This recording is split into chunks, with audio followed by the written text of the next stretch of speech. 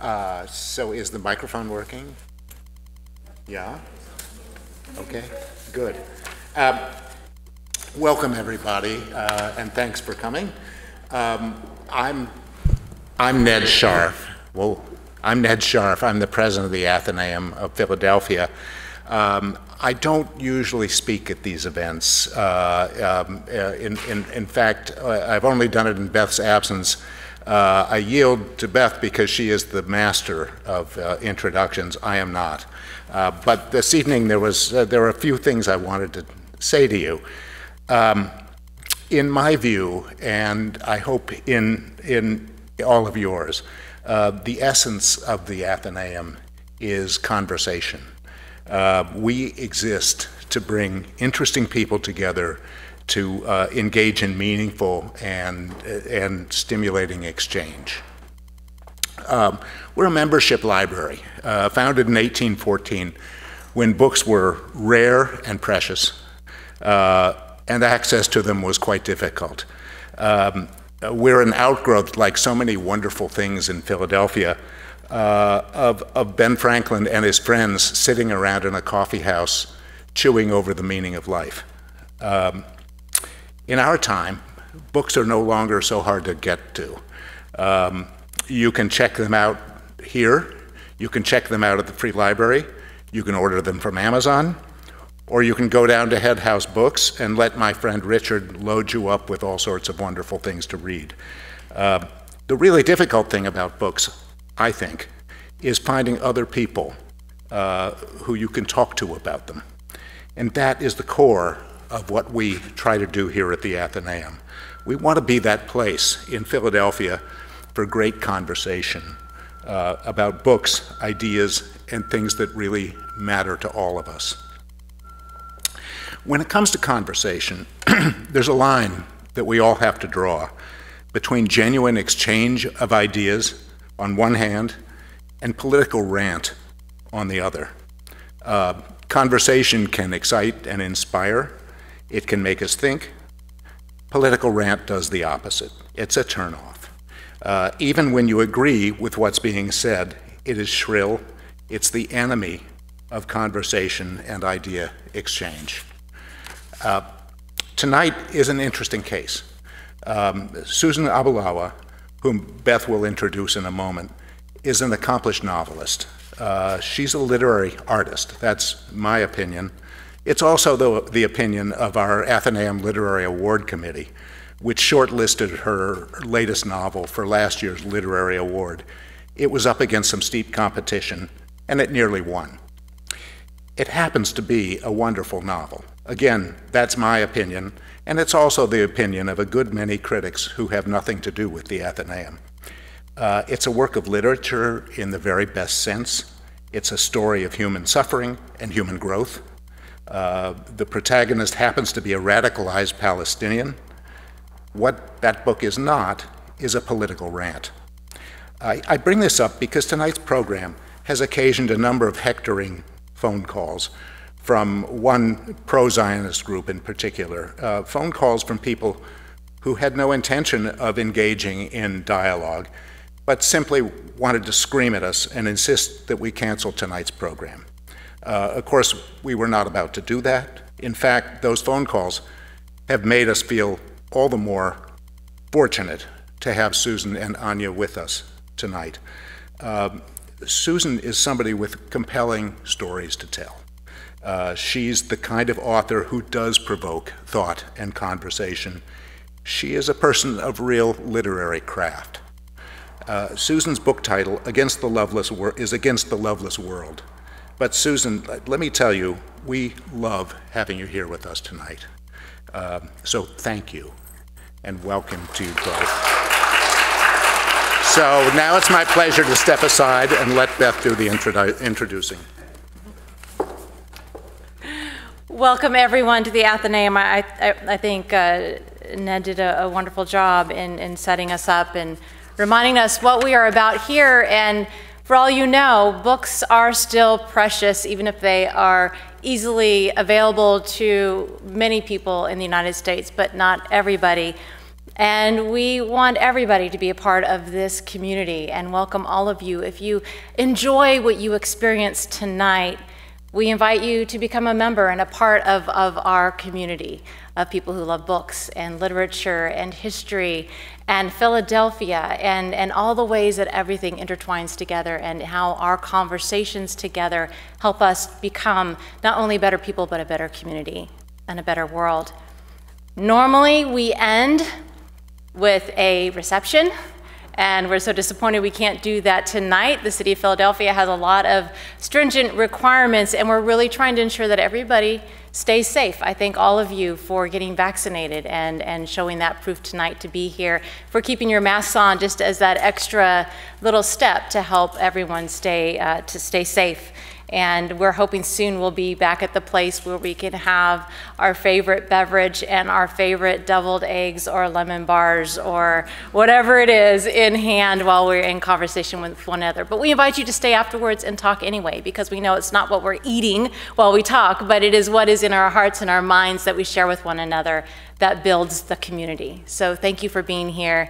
Hope you will stay. Not only that, the books are now out in paperback. If you have already have a book, buy some books for people you love, people you want to love. uh, people you want to get to know, buy yourself a copy, and Susan will be here to sign them uh, for you also. And when you see me pulling her down there at the end, please let me get her down to that table before you um, come and talk to her because I want to make sure she can sign books for people who, who, uh, who buy their copies, or if you brought your own copy uh, to have signed, I know. Oops, I did. So it's a pleasure tonight to welcome you all and um, a, a, wonderful conversation. I think, Susan, for, for you as well for Ania, this is your first in person um, in, in, in a couple years now. So it is wonderful. It's a delight to have you here. It's, it's great to be a first for, for so many people uh, at the Athenaeum. Our guest tonight, you all know, is Susan Abulhawa, who is, as Ned said, an incredible writer and a poet and an activist She's the writer of, of a number of best selling books, Mornings in Jenin, which has been translated into more than 30 languages. For those of us who would like to become a writer, it'd be great to have one in just one language, right? but 30 languages is something else. The Blue Between Sky and Water, and this most recent book, Against the Loveless World, which is now out in paperback and, and is really powerful. Um, born to refugees of the Six Day War of 1967, Susan moved to the United States as a teenager. She graduated in biomedical science. She is one smart person and established a career in medical science. And in July 2001, she founded Playgrounds for Palestine, which is a, a, a children's organization which helps uphold the right to play for Palestinian children, which is incredibly important and she lives in, in, Pennsylvania. We actually, after invited her to come and talk, she became almost my next door neighbor. So uh, it's, it's nice to know that, that, that, that brilliance is floating around in the air that I breathe in the mornings too. And in conversation with her is a, another amazing and distinguished uh, writer and thinker, Ania Loomba who is the Catherine Bryson Chair in the English Department at the University of Pennsylvania and also faculty in comparative literature, South Asian studies, and women's studies. And she is also a well sought after speaker um, and has published quite a lot, including um, Gender, Race, Renaissance Drama, and Shakespeare, Race and Colonialism. She's co edited The Post Colonial Shakespeare. Um, that was out by Routledge, and she also produced a critical edition of Shakespeare's Antony and Cleopatra. Um, and her most recent book was Revolutionary Desires Women, Communism, and Feminism in India. If that sparks your interest, I think we may need to get you here to talk about some of your topics as well. Um, and, and so Ania will be leading the conversation. These two have a lot to talk about, but we will open it up um, before the end of the evening for all of your questions. And, and then we will have the time for you to buy books and get them signed. So we're so grateful you are all here. I invite you to join me in a warm welcome to Susan and Ania.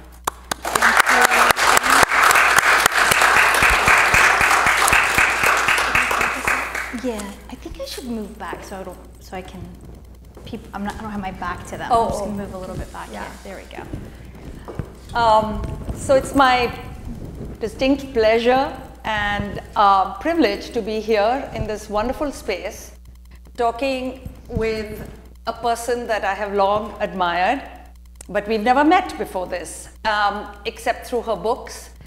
And uh, this is a remarkable book. I think it's a um, uh, I, I, hope that we can get into the style as well as the content of the book because as a professor of literature, I have the pleasure of being able to talk about books and literature every day with my students and many of them are really controversial books and we learn to um, talk about them and disagree about them, which I think is really a privilege in today's world where it's so easy to just shut down people you don't agree with. And um, um, so I want to start us off uh, by uh, asking, actually, Susan, to, uh, if you haven't read the book, to maybe just describe it in a few words. And then um, we were talking about a couple of passages that I think are very moving and interesting. And um, I'd like to invite her to maybe read one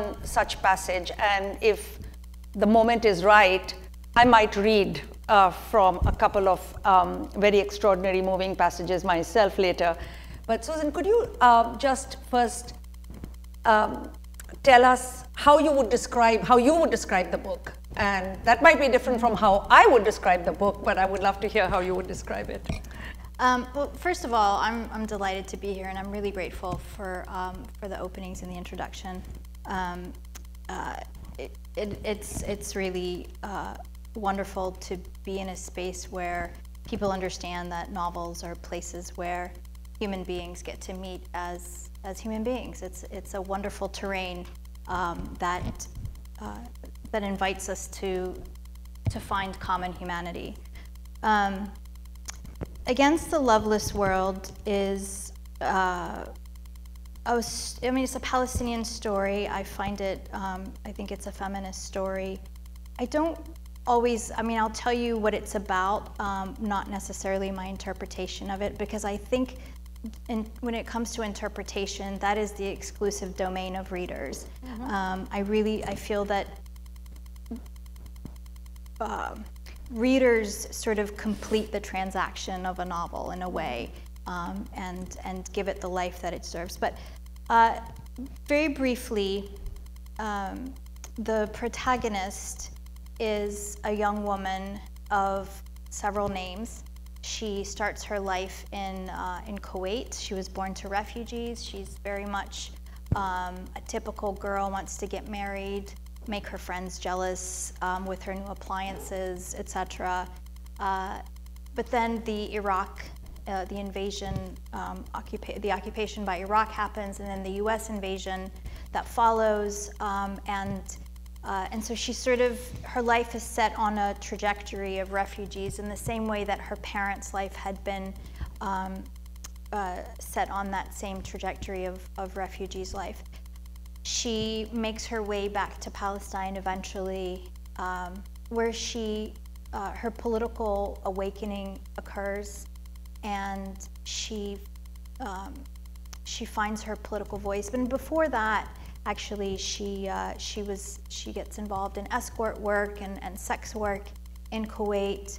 Um, so she she she had a she had a full full life, and in many ways, um, she's probably one of my uh, one of my favorite characters that I've ever written. Yeah. Yeah. I mean, she um, so she has uh, her life, it seems to me, her political life and her sexual and romantic life are beautifully braided together in this book.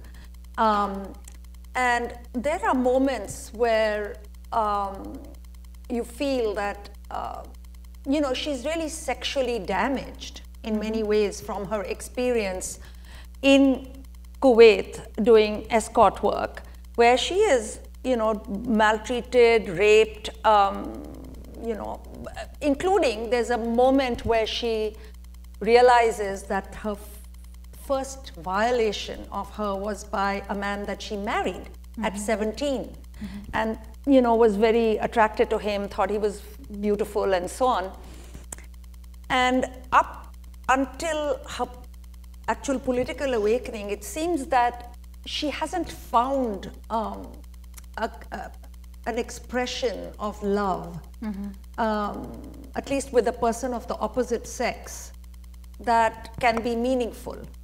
And it takes a very long time in the novel for that to happen. And I'm wondering if you could talk a little bit about this, the young Nahr, before her political awakening. She's still very um, um,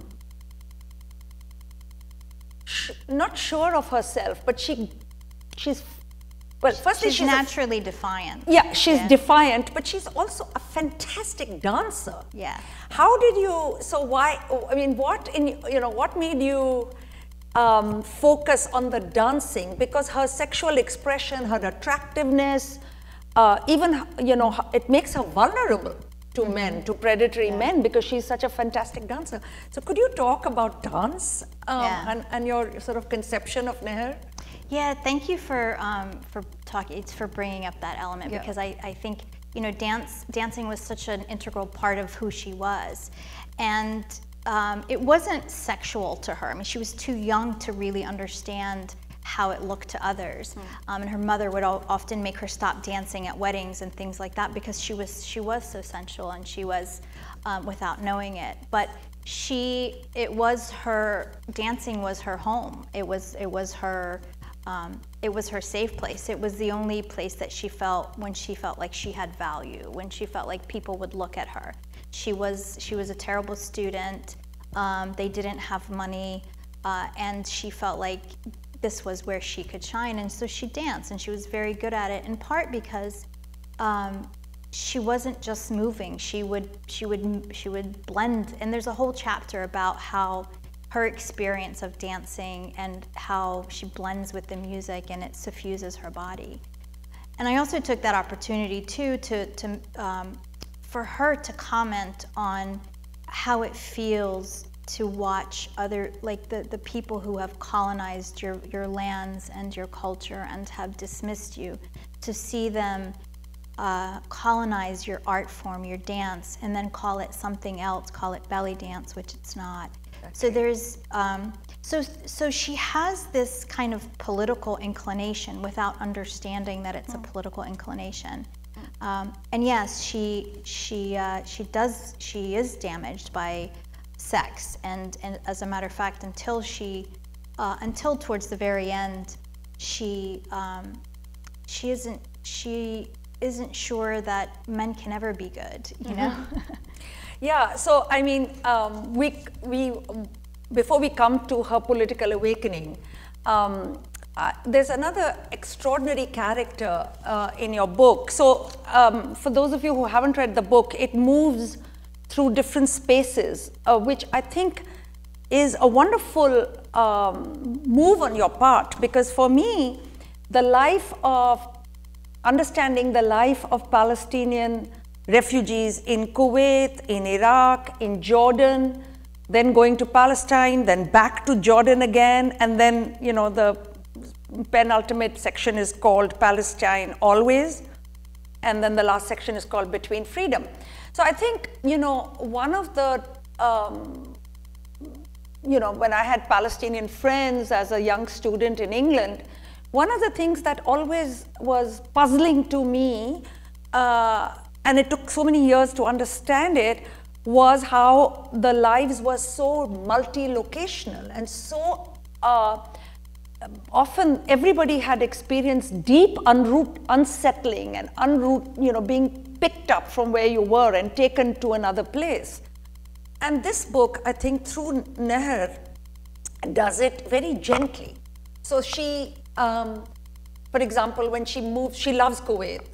And when she moves to uh, Iraq, one of the things that amman jordan uh, to, Amman- Yeah, uh, yeah, Jordan, yeah, sorry. What she hates is that she can't get, um, you know, beautiful lingerie or, you know, or shoes. But then when she goes to Palestine, Mm-hmm. even that place looks like, oh, I could get, you know, there was still a hairdresser there, or there was still, you know.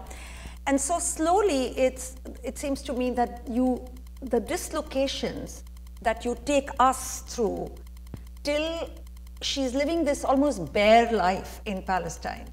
But then you introduce the, right, the reader to all the little signs of normality in Palestine and community mm-hmm. and love and food. Mm-hmm. Um, so could you, you know, could you talk a little bit about these dislocations and you know how this novel is structured around them and its return yeah. go to palestine and return and her mother goes to palestine and maybe you could read a section from when the mother goes to Haifa to her old house as mm. well. Yeah, when she so. goes, she visits her. Her mother isn't allowed. Oh yeah, and the yeah. mother isn't allowed to go. Yeah. Um, yeah, so that was um, dividing this book up into geographic locations uh, was intentional, and it because that is a uh, that's an element of Palestinian reality is this geographic fragmentation, um, and it is it's uh, it's it's a, it's national um, in that you know you have uh, Palestinians in Gaza who are completely cut off from us and the rest of the world. Uh, Palestinians, and we call them 1948 Palestinians, and they are the ones who um, were able to remain in their villages and subsequently became citizens of Israel. And then you have Palestinians in the West Bank who um, are under military occupation, um, people in Gaza are as well.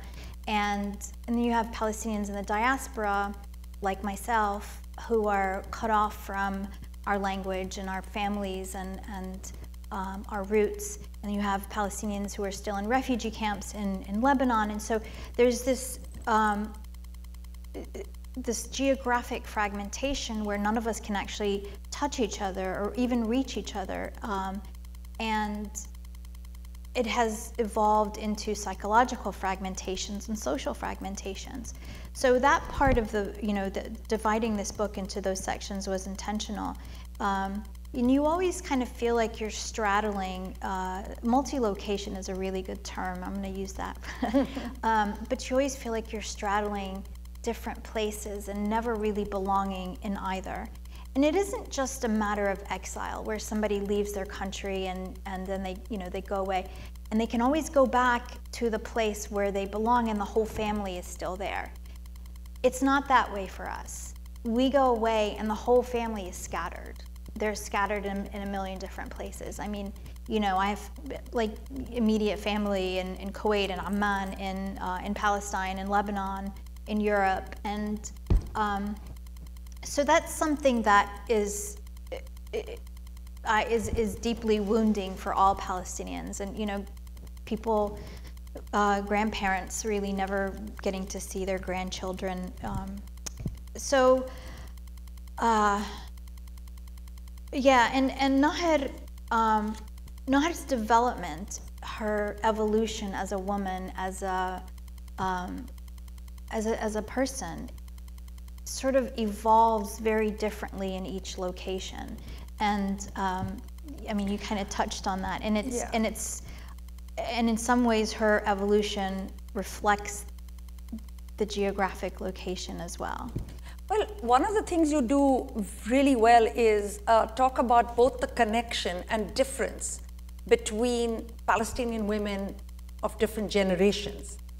Uh, I found the relationship between Nahr and her father's mother, mm-hmm. um, Siti Wasfiya, yeah. Um, really fantastic. So she's a woman that is not immediately lovable. She's cranky, cranky, mean. and and her, you know, reminds us of many grandmothers. Yeah. um, but she, you know, she is so um, umbilically tied to her grandchildren, uh, and her relationship with her daughter-in-law is something. You know, I mean, how did uh, how does Nahr's mother have such re- resources of love and affection for a mother-in-law who really is quite hard. And yeah. you, there is a moment in which, um, you know, we are told that she does it for her dead husband's sake. But that is not the whole truth with no, her. You never, right. you feel it, isn't right? You right, know, and yeah. so is, is, so can you talk a little bit about how dislocation, this dislocation, yeah. also creates different kinds of bonds between people, you know. Um, and, yeah. Well, this is the world of women too. Yeah, Um, yeah. And it's uh, it's not just Palestinians. I think, um, and it wasn't always good. She wasn't always. She didn't always. I mean, there was a moment when she grabs a knife, you know, to her and tells her to, you know, Yeah. she's going to cut her throat, her, her tongue out if she doesn't stop. But um, so there was always there was tension, but yes, there's love and. Um, and I, so one of the things, and this is a recurring theme in all of my books, is is these relationships between women. I'm um, how we, ha, you know, the the the way we harm each other and love each other at the same time. How these relationships evolve. I mean, there's another relationship too between Barak. Umm Burak, who is Absolutely. procuress, and you know, initially she, you know, I, I, I suspect the reader would revile her, um, but Nahr, you know, and so does Nahr, of course, uh, but she, she comes, they come to love each other, and it's real and it's genuine, and there's a sisterhood, and um, and not, and Umm Burak was one of those characters, and this ha- this has happened in every book. There's always a character that I intend to be a minor character who who kind of disappears from the story early on, but they have such a big personality that they they end up suffusing the whole book. And Umm Burak was that character in this book, and I had to bring her back in the end because that you know that that's what made sense. Um, But there's a passage, you know, on page 88 that I just found myself. It could be any, it could be different communities, you know, of women. Um, and, and, you know, your book is, doesn't sentimentalize the relationship between women because Umm Barak and Nahr's relationship, I think, is something that, you know, exploitation and love go very hand in hand in this book you know, Yeah. this, and, and same with Palestinian men, uh, you know, the ones in, who are Mm-hmm. actually um, on the, you know, so exploitative of Nahr um, are, are Palestinian men. So there is no, you know, what I loved about it was that at one level, the gender, um, you know, Umm Barak says it, never trust men, never trust men. And Nahr that rings through her head so many times when she's creating new relationships in Palestine and you know looking at them. But there's this passage that I, I just I don't know. It it felt beautiful almost daily. Mama and Siti Wasfiya. Could you Yeah, read that please? Um, so just to just to preface this um, scene, this this is during the uh, Iraq's occupation of Kuwait, and I think um, this is a really good passage I think to read to an American audience because I think people's conception of the occupation is not what it was on the ground for everyone. Um, and so this is this is how it happened for Nahr and her family. Our lives became wonderfully simple, clearer somehow in the fog of occupation. Folks with money, the creditors and the landlords, had fled the country, leaving the rest of us the rest of us with a new freedom to exist. We didn't have to pay rent for 6 months. No one was there to collect it. Almost daily, Mama and Siti Wasfiya would gather with the women in our building who remained in Kuwait. They'd bake bread ra- rather than wait in the bread lines. Despite the uncertainty, people socialized without the weight of financial responsibilities. Iraq's occupation had the effect of a natural disaster. It allowed us to take a break from the contrived necessities of money. There was a deeply felt dignity in the sense that one's shelter and sustenance were not mortgaged. We went, we went where we could not have afforded before the invasion, walked into homes where, where we'd never have been invited, and into establishments that would not have welcomed us during normal times. No one was poor, no one was rich, we just were. And we shared. We ate, we drank, we laughed, we danced, we cried. We dreamed and imagined a better world. Then we waited for fate to fall on our heads from American warplanes. Newspapers and television pundits spoke of the United States military buildup in Saudi Arabia, but I could not imagine war. I thought it only happened in far away, uh, in far away, in quote, war zones, deep in the desert or beyond the orange cones bobbing in the ocean where swimmers were not allowed to go. I was a daughter of refugees, chased out of their homes in Palestine, not once but twice, yet I could not conceive of bullets and bombs coming so close. But as time passed, the louder and more animated the pundits became. People who previously spoke only in whispers now spoke openly about the United States destroying Iraq. On the other hand, those who had been emboldened by Saddam Hussein began to shrink. Then they began to flee. Thank you. Um, so when Nahr goes, I mean, there are two things I, I would like to talk about. You could do it in any um, order. One is these photographs that Nahr's mother has of her home. Um, and they're just black and white, and we have a, you know, they become more real when Nahr, she revisit, revisits them several times. Mm-hmm. Um, and then um, the mother goes to Palestine, comes back, and doesn't really tell Nahr everything that has happened. And then Nahr goes to Palestine and then ends up uh, going to Haifa to visit the mother's home. And that's a, a moment where I think she, her political awareness is growing, but it's not fully formed.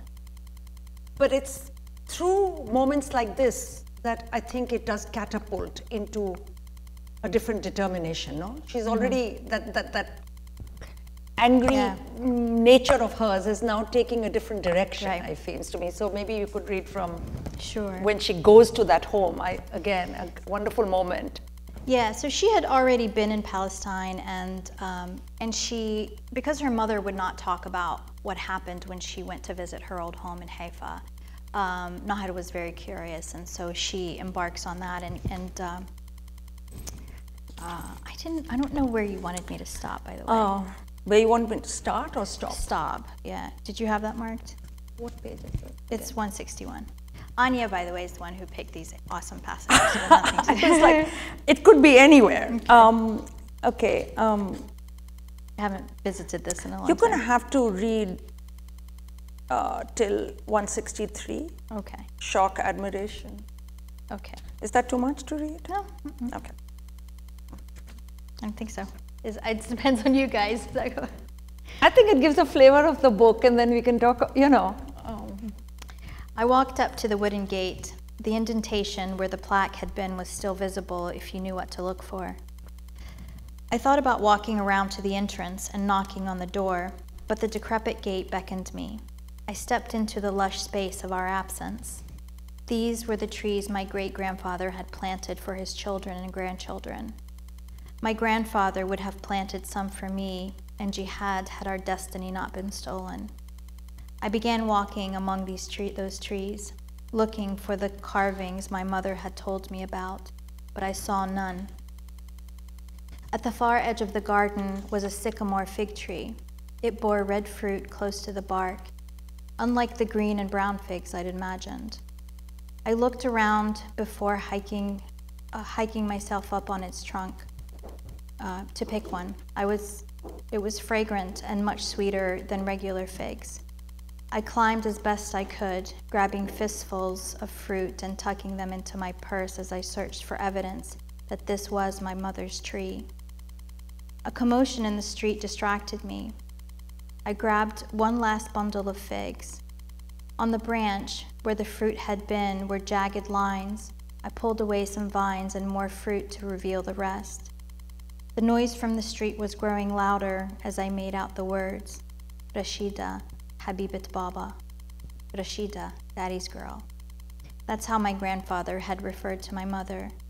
This was her fig tree. This tree was a member of my family. I belonged to it.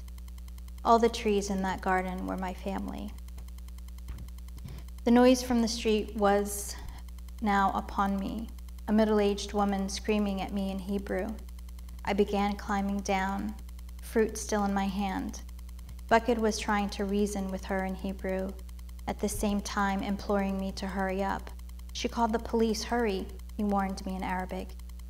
Just as I touched the ground, the woman slapped the fruit from my hand and yanked me by my hair. Unthinkingly, I punched her, then again and again. She was what we used to call in my school days a princess, someone who had no idea how to fight. I wanted to beat her bloody for taking away our trees, for pulling the land from under us. But Beckett caught my arm and dragged me away, and we ran together to his car. Neighbors were just beginning to gather and might have overtaken us had we left a moment later. Adrenaline pumped through us as we drove away, slowly, as if we were an ordinary Jewish couple going about our day, just in case we crossed paths with the police.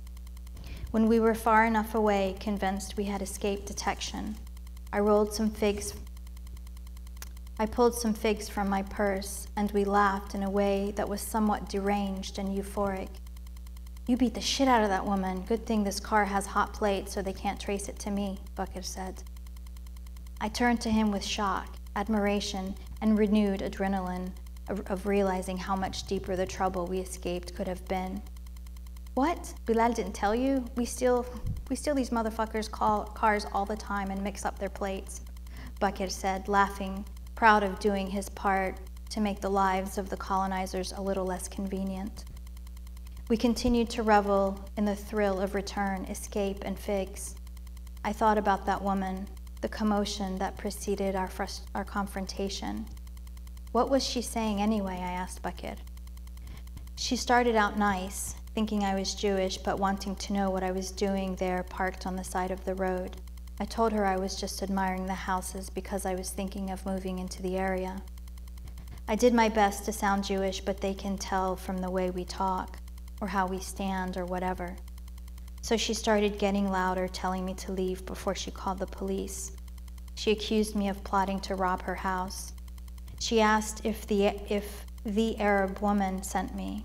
I didn't know what she meant, but apparently an Arab woman came by a couple of months ago claiming that her child, this was her childhood home. Then she, what else did she say about the Arab woman? I interrupted him.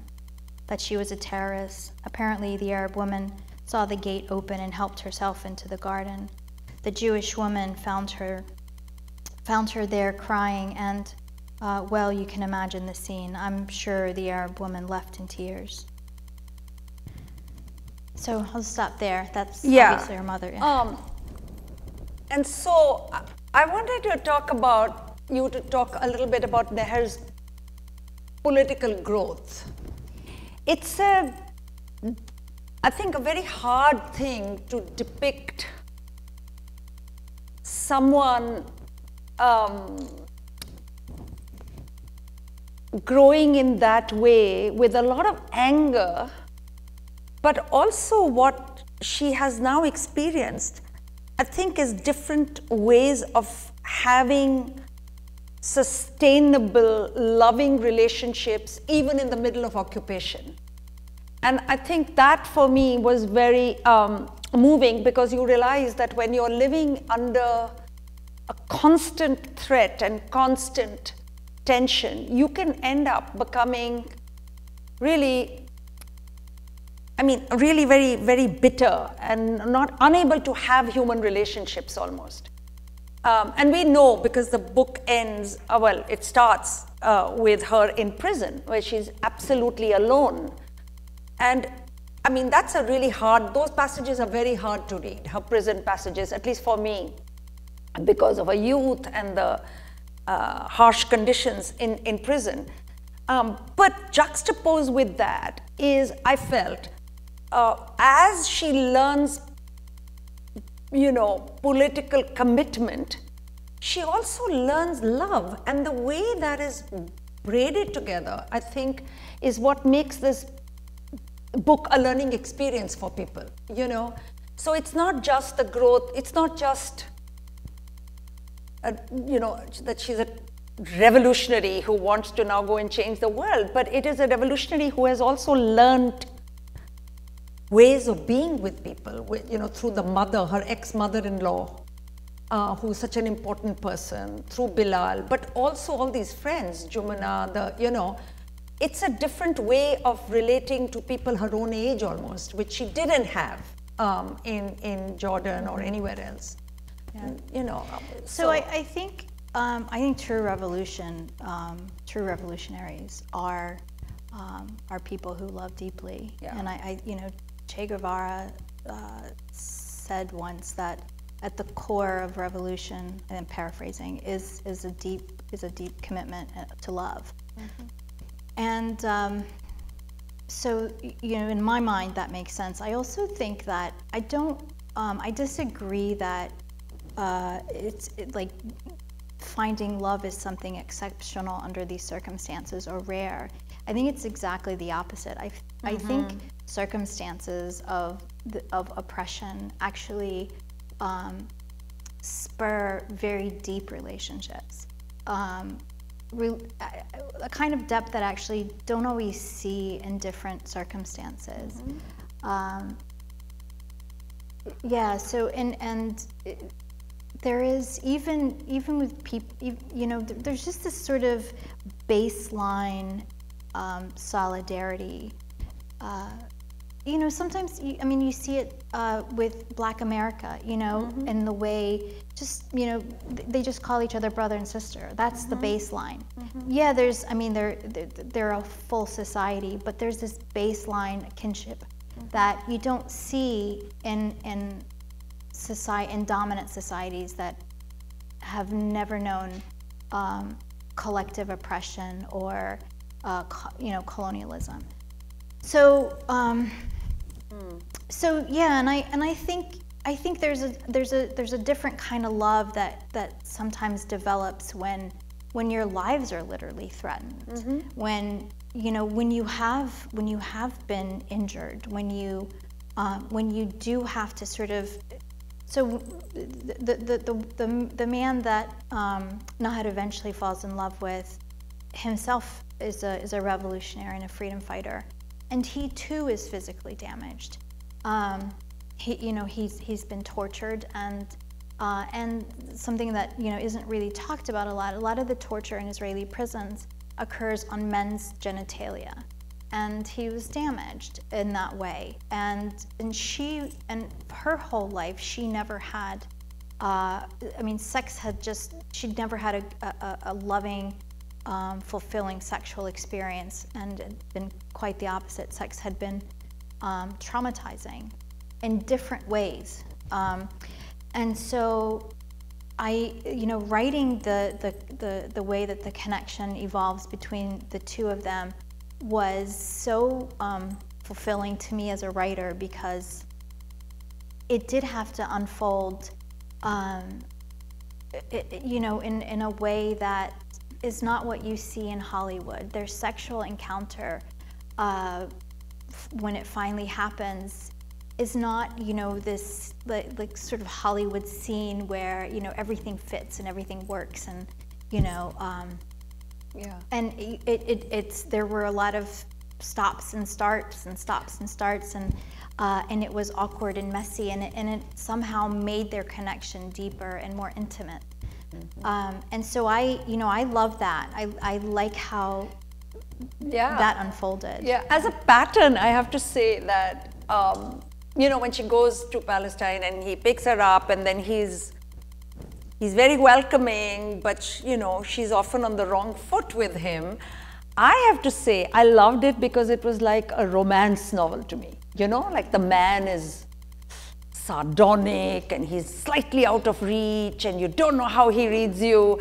So I actually think that in many ways um, it actually does fulfill, it, it did for me, uh, you know, a kind of um, romantic fantasy in some ways with, of course, um, the moments that it is shattered are the moments where you're reminded constantly of where the tension is coming from. So, for example, when she discovers that he's been spying on her because they can't trust her. And so I guess that's what I was saying that, of course, love, you know, when you are underground. Um, and so in my book, Revolutionary Desires, I was going back to the generation of in, Indian women who had fought against colonialism in left wing movements and so on. And of course, those bonds are very deep, but, but I think the pressure that also puts on you is that you can have fracture, you can have betrayals. And that does come out in the novel by, by how careful these young people have to be. Mm, and I was kind of, you know, I was always expecting a major betrayal from someone. Um, but when it comes, it isn't a betrayal from within. Mm-hmm. It's a, you know, it's an assault from outside. But I think you do get at some of the ways in which it isn't easy to simply just bond together and be together simply because you you know uh, Mm-hmm. that, that it costs a lot that bonding and there's a constant distrust even between women even between Yeah, Jum- Jumana Jumana and- and, yeah, yeah. and and her so would you say would, i mean i was kind of surprised that there weren't more like I expected a betrayal from within the community. Mm-hmm. So would you say that you just uh, didn't want, you know, you don't want to go there uh, because because you want to focus on what is going on from outside? Yeah, it's was funny that, because that a decision? it's funny because my um, uh, my publisher wanted that too, oh, really? and yeah. um, and I and you know that's a, to me that's such a white gaze kind of Mm-hmm. thing, and that Mm. and that's not healthy. I mean, so the, the, this was we do talk. I mean, the the characters do talk about um, Joassis or like spies. Um, Mm-hmm. you know. Uh, people within the community who uh, who are traitors, and they're very careful about that. And Yeah. the thing is, like it, to, to have betrayals from within is actually really, really rare. Now, there's like, if you have a group of trusted friends in Yeah. Palestine Yeah. who are in a, in, you know, who, who are, who are part of a resistance, it's, you know, to have somebody in that group betray you in, in such a profound way is just, it's not real. And that's not, that's not Yeah. reality. But Yeah. that is, that's a Hollywood kind of uh, it's very Hollywood, you Yeah, know, to kind of do that. So, um, and uh, I, yeah, so I, it, it wasn't real. But the, the thing is, sometimes, you know, these outside pressures sort of, um, like I said, they they make friendships more cohesive, and when. Um, uh, th- there was a, there was one of you know one of the twins. There was some worry even within the group that he might flip. You know. Yeah. So there was that. There was Yeah. that tension, um, but it didn't happen. And so, um, can we talk about male female relationships within the group? One of the things that I found very um, sort of fantastic to follow is, and, and again, one of those two brothers, the, the, the tension came from because he was in love with someone who's Yeah. not quite in, in the group. But for Bilal, for the hero too, I mean, for the main protagonist, the moment he thinks that Nahr is pregnant, uh, he wants her to leave. Spoiler alert. So we won't say what happened. Okay. I didn't say. He wants it. yeah. Okay. We won't talk about that.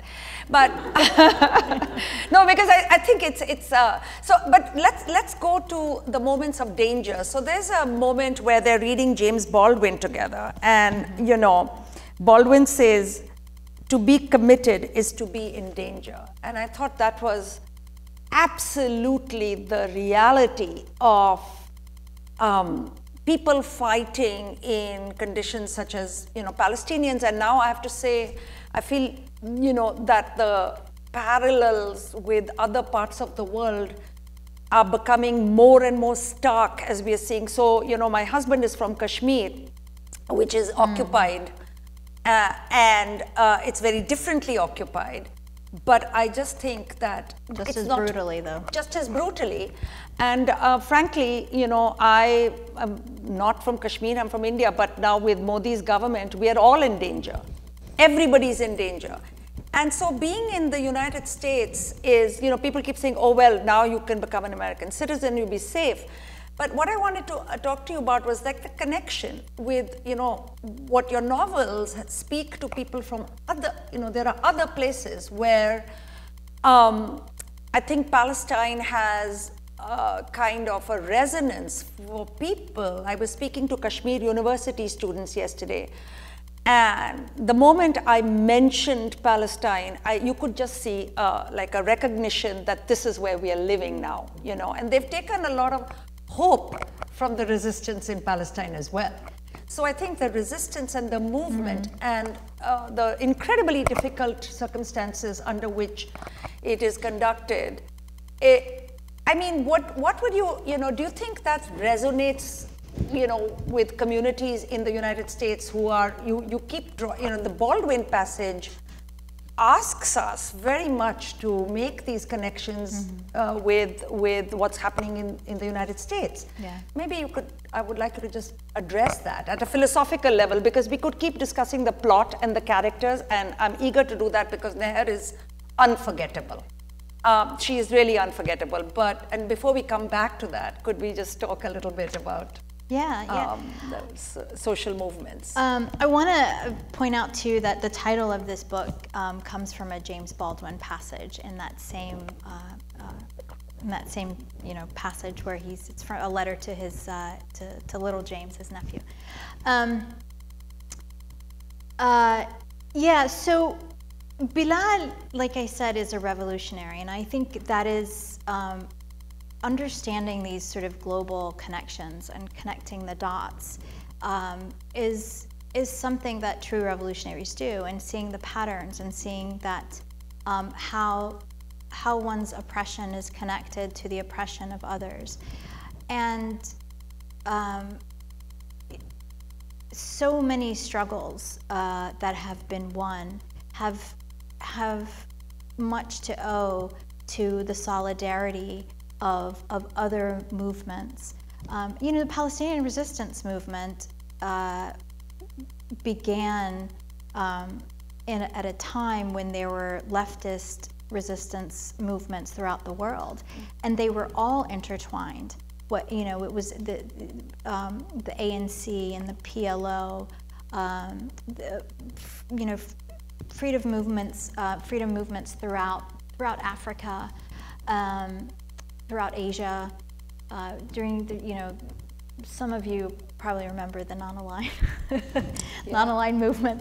Um, so I think you know making these the, these connections is vital to everyone's uh, resistance and everyone's struggle. After uh, after the Ferguson or during the Ferguson uprising, there was this uh, wonderful moment of solidarity and cohesion between the protesters in Ferguson on the ground and Palestinians, and they were connecting via Twitter. And it empowered both groups in a way that, um, that, that profoundly affected both, both struggles.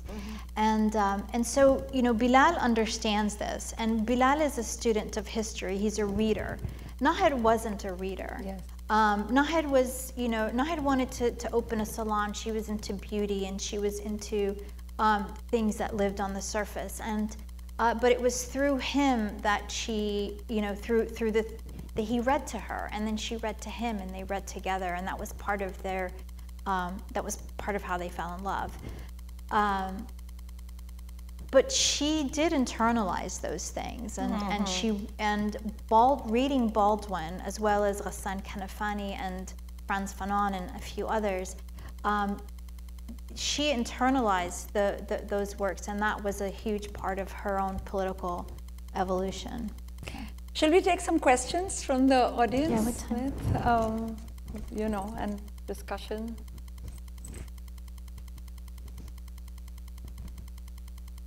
There's Yeah,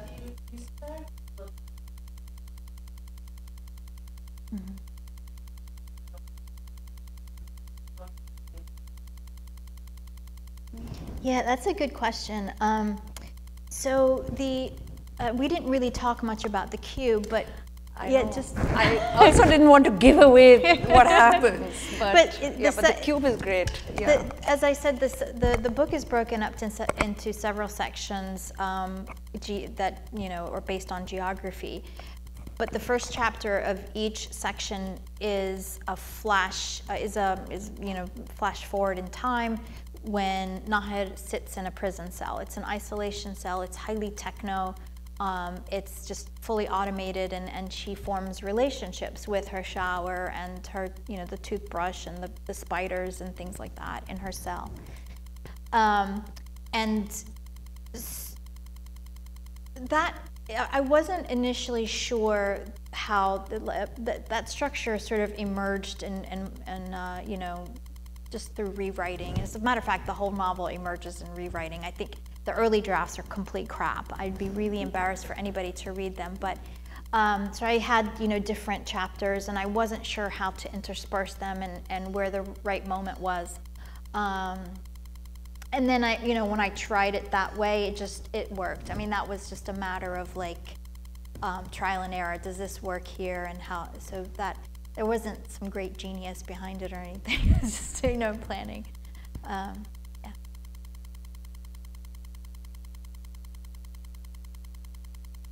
So when I read the book, that covers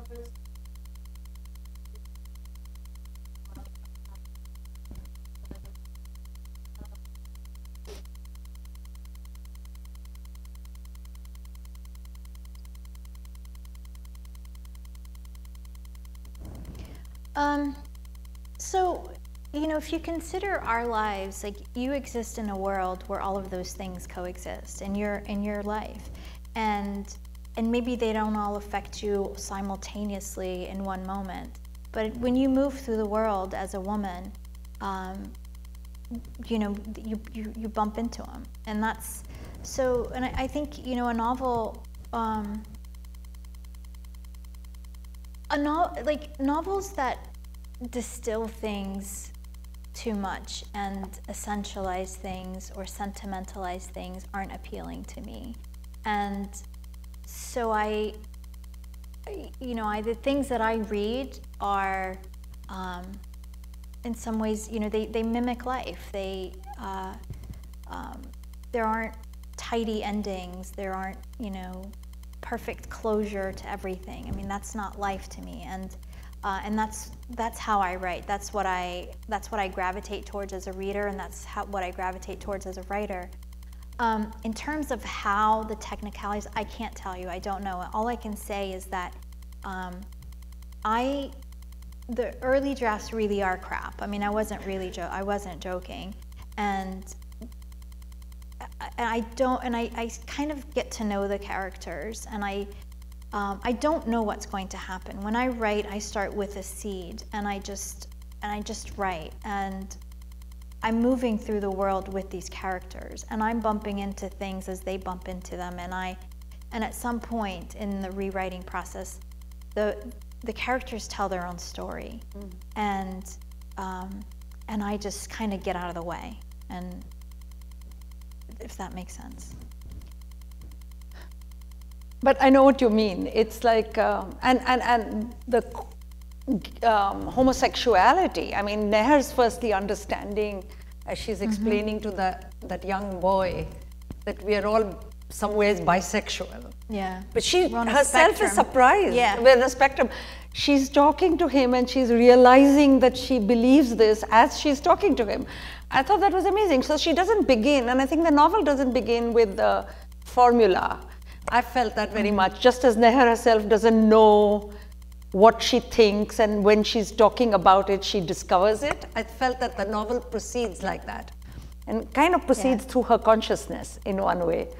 Um, I don't know if you felt that, but I, that's one of the things I enjoyed about it very much because you don't know which way it's going to go. Yeah, yeah.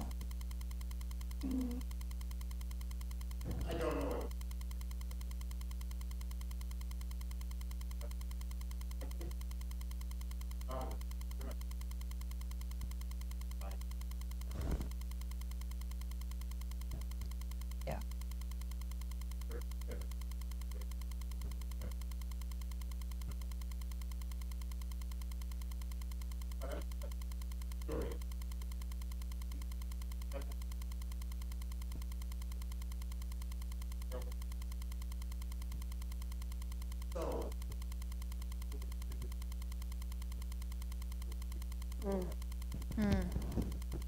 That's an interesting question, and I, not something that I've thought about. Um, I've, I, I haven't written anything where uh, the the uh, a male character was the, the the principal protagonist. I mean, in Mornings in Jenin, um, even though the, the story is all, essentially the story of three siblings, two boys, two men, and, and a woman. Um, and though Amal is the one who, who sort of narrates most of the book, but they are strong characters, and, and important protagonists. But I, I, I think that um, I'm not, I don't really gravitate towards that. So I don't know, I don't know if I can either. I mean, I think sometimes, um, I mean, just, I, I, I gravitate more towards the complexity of women and, uh, and the relationships that they form with the world. I think it would be interesting, though, to, to at least attempt it. And, um, but I feel like women's stories haven't really been told enough. You know, men have occupied so much space um, for so long. And I know even this generation might see things differently because there's a lot of female writers and, and but um, among those female writers, there aren't i mean there, there aren't a lot of a lot of women who get celebrated in the way that men have. And um,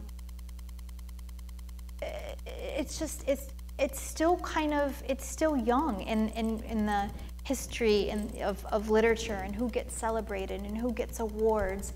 And i mean there's some there's some quantitative um, you you probably know this better than i do i mean there's uh, studies that have quantified the, um, the number of uh, prizes that have gone to men in the last 20, 30 years versus women, the number of major books that had a male protagonist versus a female protagonist. I mean, and, and the data is so skewed, and these are just simple, um, just simple measurements. You know, just you know, in terms of prizes, celebrated books by male authors versus female authors, male protagonists versus female protagonists, and the numbers are staggering. So there's a real disparity, and um, I very instinctively kind of uh, always go with the underdogs, and that's what I'm interested in.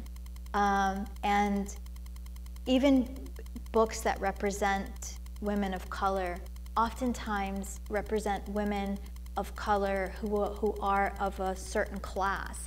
Rarely are they about uh, the working class as protagonists of color. And that, I mean, that's not, it's, I mean, if you, if you really do a, do a, a study on it, you'll find that th- they're not there. Um, they're still muted. And so, so I'm not, I guess I'm just not as interested, I think. That- yeah.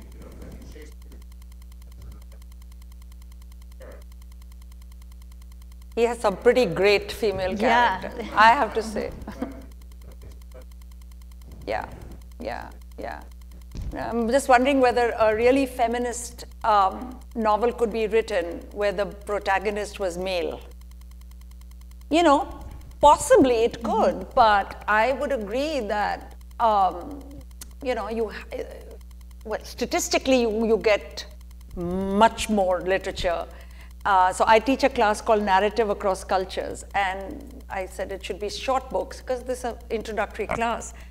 And I have to really um, search hard to put books there which fit the criteria and yet are written by women because if you want to cover through the ages and periods, you do realize that you have to start by saying, I'm going to find them, and then you'll come across it, you know, because uh, then you have to. So, absolutely. But, and what I think with this book, what you do is you give us women from different generations. That's what I loved. Because there are two old women who are so full of life, and then there are women of every generation who are, uh, you know, the mother and Um Barak must be this roughly the same generation, Yeah. and there's Nahr. so it's full of women. It's not just Nahr. Um, But you know, it's it's very full. How But Indian culture is like that too. I mean, Yeah. I, you know, we, I mean, that's, Well, I th- this makes me feel at home. The Yeah. book. I mean, that that's the other thing. I think that because yeah, in our cultures, um, the generations coexist together. Oftentimes, it's in the same house. You know, we like in our in our society, um, kids don't move out of the house when they're 18 and go do their. I mean, they they just when they get married, they get another uh, they get the uh, uh, another story built on the house add- for them, so they can have some Yeah. privacy. But the family stays together, and you Yeah. always have. Um, multiple generations occupying the same space, and everybody's raising everybody else's kids, and So, I mean, that was actually why that passage that you read out, where they all did everything to, I mean, that is a passage of extraordinary, a different, difficult moment. It's not representative. But one of the things that is um, struck me at least is that there are so, it's so full of people and communities. Every household, this is exactly what comes out. And I found myself a bit envious. And I was like, then nobody's lonely. I mean, they're, they're oppressed, they're angry, they're miserable, they're torn, they're agonized. I mean, all kinds of things happen.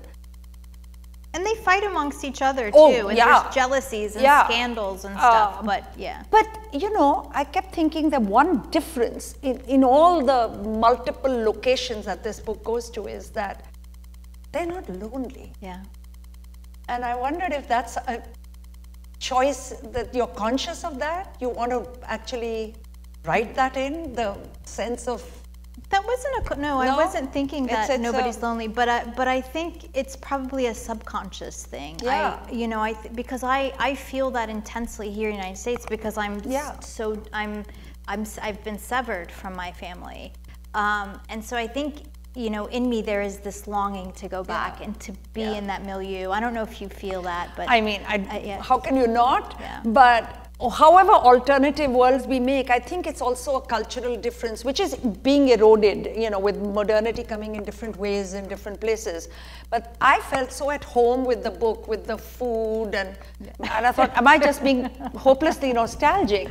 But that there's nothing wrong with that. I think the it filled a gap in me, you know, living alone with my husband in Philadelphia. I'm like, wow, all these people in and out, the neighbors bringing food, you know, in Yeah, well, moments they of do that. crisis. Uh, yeah, yeah. I mean, definitely. Um, and they do that in Philadelphia too, in certain parts of Philadelphia. But, Yeah, but of we, course these, these are things we, I think, uh, what the book does is also ask you to make a community. Yeah, I mean, for me, it's not just, uh, yeah, I know we're out of time, but. Okay, I was just like, I think you have a question here. Yeah.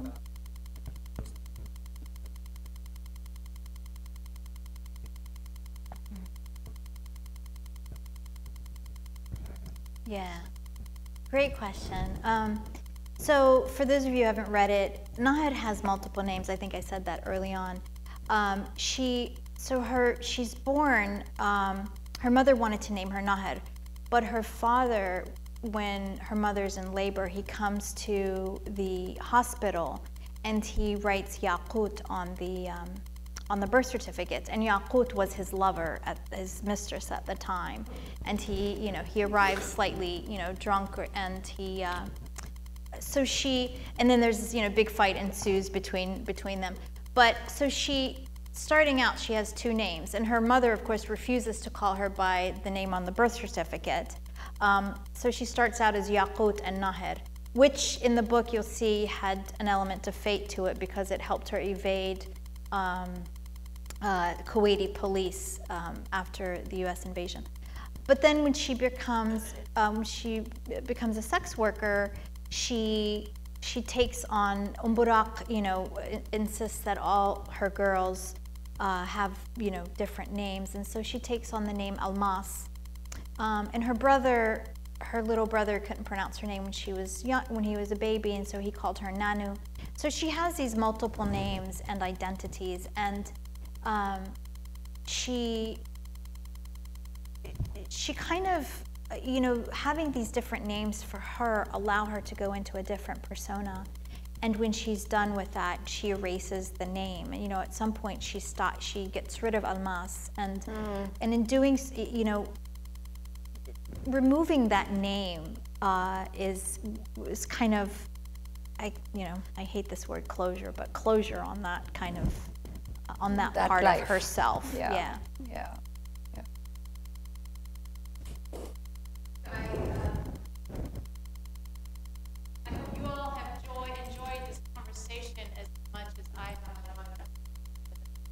your, the, the videos of some of the, the book talks you've given el- uh, elsewhere, and every single one is different because of the nature of the questions of the moderator and where you are at and re- reflecting and questions we ask. And so um, this has really been a special moment. And I think for all of us who haven't had the opportunity to really gather in person much in the last few years, to be able to be in the same room with an author that we love is really special. And so let's all thank Susan and Ania for being here. Thank you. Thank you. And um, Carly with Head House Books has copies of the book back there. Please do buy some for yourself, again, for people you think have got to read this book, you want to be in conversation with about it. And uh, Susan will, will sign the copies back there. Thank you for coming.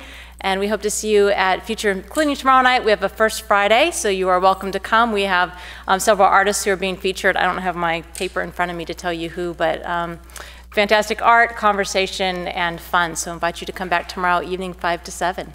Thank you for being here.